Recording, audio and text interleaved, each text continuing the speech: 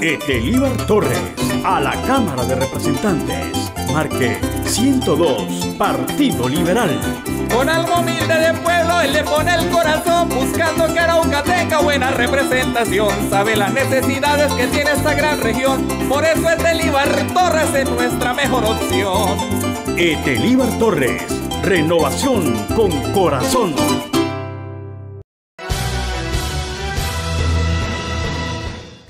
Las autoridades entregaron un balance sobre la intervención realizada en el sector de la cancha Los Guires y el barrio Libertadores en el municipio de Arauca.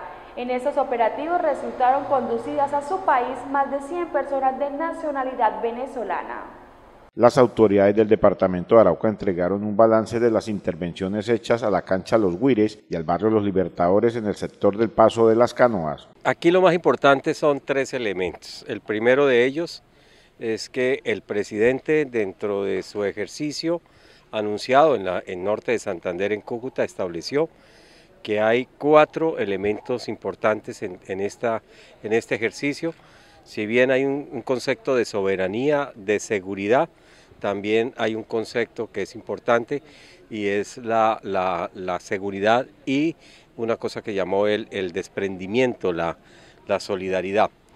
Nosotros queremos señalar que este comando especial interagencial eh, que hace presencia eh, en, el departamento de Arauca busca un elemento o el segundo elemento que, que está detrás de esto, que es la recuperación del espacio público. El gobernador de Arauca le hizo un llamado a los venezolanos para que entren legalmente a territorio colombiano. Es un llamado detrás de esto a la gente de bien, tanto venezolanos como colombianos, es que cualquier persona que entre legalmente al territorio, que haga las cosas como corresponde, es decir, que tenga sus papeles como, como corresponde, su pasaporte o inclusive la tarjeta, pero que esté amparado dentro de eso que ya se estableció, puede perfectamente transitar por nuestro, eh, nuestro departamento y en este caso por la orilla del dique. Más de 100 personas venezolanas fueron deportadas porque no tenían su documentación. Se hizo un ejercicio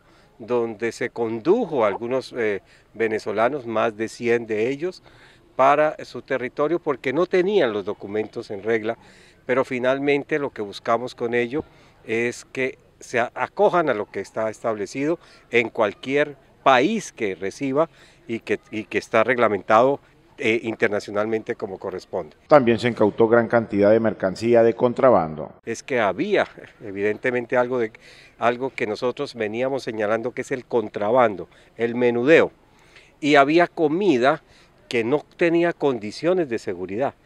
Ese ejercicio de desplazamiento de, a través de la informalidad, de lo que representa la economía eh, formalizada de nuestro territorio se recupera y, se, y hay otro, otro, otro que está detrás de eso, que es la tranquilidad ciudadana también fueron desalojados de la vía pública donde se había convertido en una plaza de mercado satélite en el barrio Los Libertadores. La vía pública es la vía de todos los ciudadanos. Los espacios deportivos, los espacios culturales es para el uso y usufructo y tranquilidad de todos los araucanos. Por lo tanto, no se pueden utilizar esa recuperación del espacio público tal como estamos hoy haciéndolo en este espacio, representa un bien que había que hacerlo.